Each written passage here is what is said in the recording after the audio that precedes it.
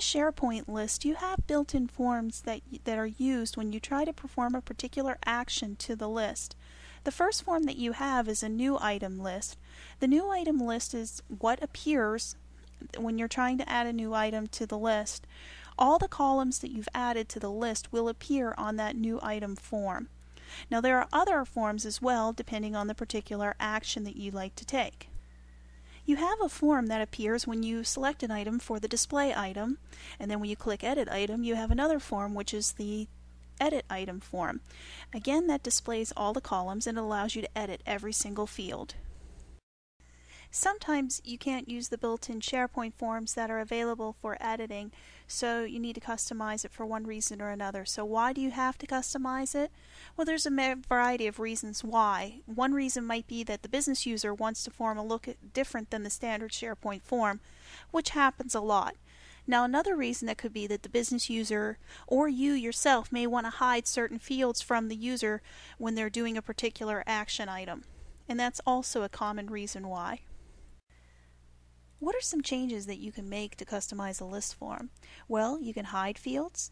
You can also rearrange fields if you don't like the original order that they're in. You can also change edit mode on fields if you want to change it from edit to display. And then finally, you can add additional look and feel functionality that's not built into SharePoint. In this illustration, what we're going to do is we're going to demonstrate customizing an edit form on the SharePoint list.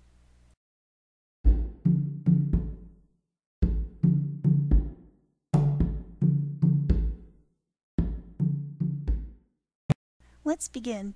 In SharePoint Designer, select File, Open Site. In the Open Site dialog box, enter the URL to uh, open the site that you're going to be editing. If the URL does not appear, enter the URL manually and click OK. In the folder list, select the Lists folder, expand it, and then select the, the list you'll be working with. In this example, we'll be working with the list Getting to Know You. Let's take a look at each of these forms. The All Items form is the form used when displaying all items on a list. The next form, the Disp form, is the form used to display a selected item on a list. When you select an item, this is the form that appears. The next one is the Edit form, and that's what appears when you're editing an item. So when you click Edit, this is the form that appears. Last but not least is the new form, and the new form appears when you're adding a new item to the list. So when you click New, this is the form that appears. In this demonstration, we are going to be creating a custom form for editing. So the first thing that we have to do is we have to make a copy of the edit form.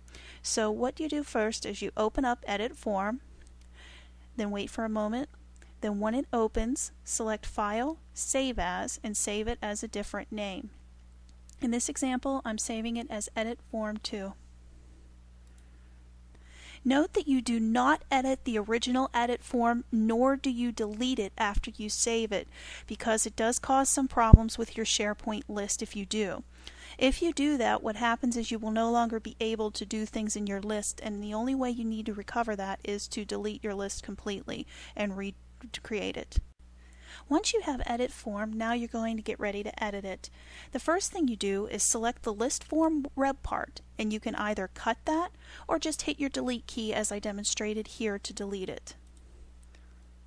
Now you're going to add it, the custom control. Insert SharePoint Control Custom Form Library. What you're going to do first is select the list that you're working with Make sure the content type is, type is an item, and then for the type of form to create, select Edit Item Form. You may leave the Show Standard toolbar checked. If you uncheck it, the toolbar will not appear. Now wait a moment while the form loads.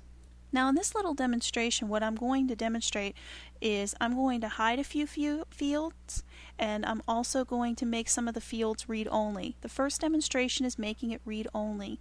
What you do is just select the field, and then there's a property for the particular field called control mode.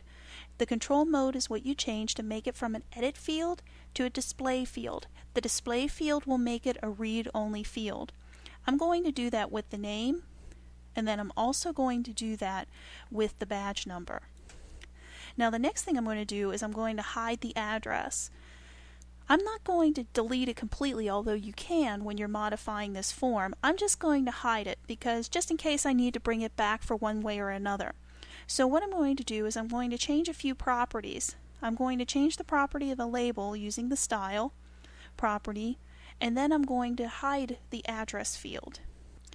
All I'm doing for the property is I'm just setting the style property for the label. And then what I'm going to do after that is I'm going to just set up property the address, which is the visible behavior property. Then when you're all done, don't forget save your form. So click the little save icon and then close the form.